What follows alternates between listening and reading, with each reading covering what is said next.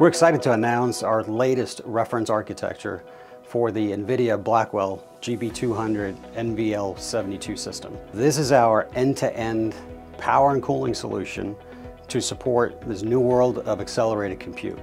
Through our collaboration with our close partner, NVIDIA, we have been working on coming up with this infrastructure that we believe addresses all the major concerns and all the major challenges that this accelerated, highly dense compute presents to us today.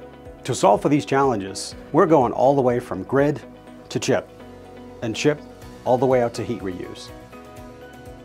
When we look at the power side, we have all the components, all the way from the main input switchgear through to the power quality, power conditioning, power backup, the distribution, overhead busway, as it lands and powers up the chips within the racks.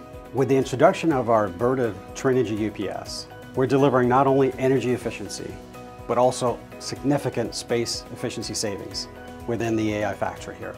With a combination of Vertiv Trinergy UPS and our modular capabilities, where we pre-integrate all of the power architecture into a modular solution that's pre-integrated in a factory, we're able to cut the speed of deployment by up to 50%, significantly accelerating the ability for data center operators to get up and running quickly. These racks, full of GPUs, are running up to 100, 150 kilowatts within each rack. That is significantly higher than what we've seen in the industry, but we have a solution for that. With a combination of our direct-to-chip liquid cooling and our rear door heat exchangers, addressing the hybrid environments of air and liquid, which exist in most AI factories today.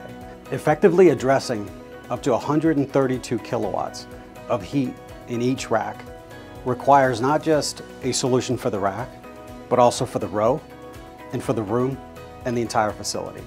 And with our reference architecture, we offer it all from chip to heat reuse because we have all of the components in that thermal chain. Our latest reference architecture for the GB200 NVL72 has been designed with both new build in mind, as well as retrofit and repurposing spaces. Supporting accelerated compute in all its different shapes and sizes requires a particular attention around the power and cooling infrastructure. It requires a complete end-to-end -end look, grid to chip, chip to heat reuse.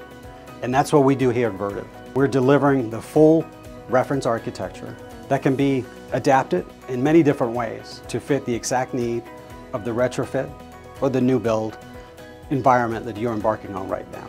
So I encourage you to go to our website and take a look at our reference architecture for the GB200 NVL72 from NVIDIA.